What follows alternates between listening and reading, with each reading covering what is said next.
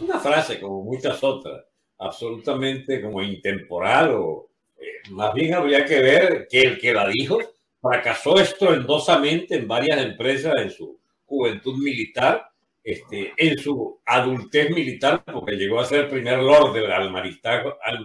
almirantazgo británico y le ocurrió la peor desgracia, una derrota pero brutal en Galípoli, en Hungría, ayer, perdón, en Turquía. Y bien, y hace una carrera bastante accidentada en la política dentro del Partido Conservador, este, y, pero acierta en lo fundamental cuando pronostica el desastre inglés a partir de la entrega que hace de la diplomacia del imperio el señor Chamberlain en, en las conversaciones de Múnich, donde, bueno, Hitler hace con ellos lo que les da la gana, invade todos los llamados sudetes y las zonas contiguas de Alemania y se anexa luego Austria y bien, queda para los muchachos. Chamberlain es un desastre completo y allí entonces cuando se llama Churchill, aunque era un político muy polémico y muy ninguneado por los británicos, porque bueno, creían que Chamberlain era un genio, pero el genio los llevaba a la más insólita de las derrotas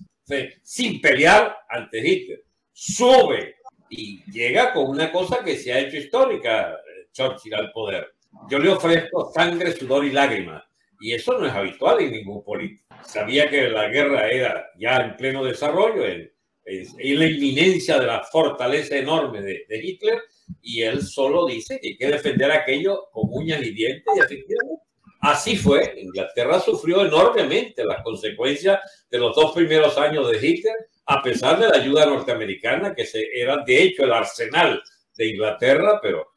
Hitler lo, lograba reventarle todos los navíos en alta mar y los submarinos, etcétera. Las pérdidas norteamericanas empiezan allí también, en, el mar, en pleno mar, con los envíos de armas, hasta que se resuelven hacer la gran operación este, bueno, de contraofensivas en,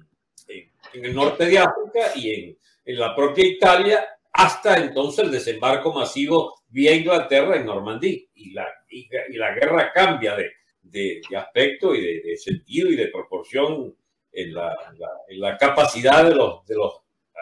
alemanes que habían agotado, agotado su capacidad de expandir territorialmente el imperio, puesto que empiezan también a recibir palos en, Rusia, donde habían llegado y ocupaban este, todo lo que es Ucrania actual, Bielorrusia actual, todo eso estaba ocupado y llegaron entonces a Stalingrado, este, donde tranca todo el proceso la Unión Soviética. Pero esa es ya la, historia de Churchill, es la historia de la guerra, este, de la Segunda Guerra. Y para que usted vea lo complicado que es la política, hay elecciones cuando termina la caída de, de Alemania hay elecciones y las perdió Churchill con el señor Attlee, Attlee del Partido Laborista. O sea, le cobraron que había tenido que regimentar de tal manera quizás las cuestiones, las ayudas sociales, todas esas cosas, que bueno, los británicos prefirieron volver a su partido obrero, al partido obrero del Partido Laborista, para que dirigiera a la posguerra. Ya se sabía que Inglaterra había ganado y era la potencia dominante, entonces la gente decía, devuélveme mis, mis reivindicaciones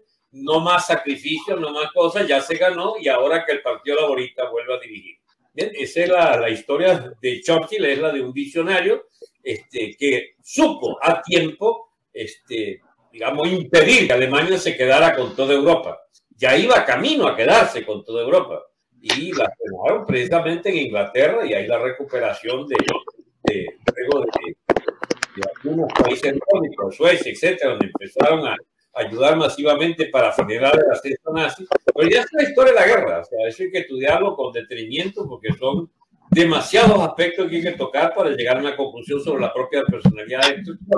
Lo que interesa es que sepan que un hombre que ofreció sacrificios le ofreció un liderazgo a un país a la deriva, que era Inglaterra, y que lo llevó de nuevo a ser una parte de la victoria mundial. No, sin embargo, Inglaterra nunca se recuperó de lo que fue el golpe maestro que le dio a Alemania este, en, Europa, en el sur de Europa, etcétera, los Balcanes, y eh, se reconstruyó el imperio británico, pero con un problemita que Estados Unidos le exigía, devuélveme, dame para mí ahora lo que era influencia tuya. Y entonces sí, ganó con el apoyo norteamericano, pero ese apoyo le salió carísimo al señor Churchill y a Inglaterra, en áreas de influencia geográfica, en pozos petroleros, en el dominio sobre digamos, países clave del Golfo Pérsico, etcétera. La presencia americana empieza allí donde Churchill no pudo convencer a los ingleses de seguir, qué sé yo, por la, eh, bajo los auspicios de esa política tradicional del imperio. Ve, hay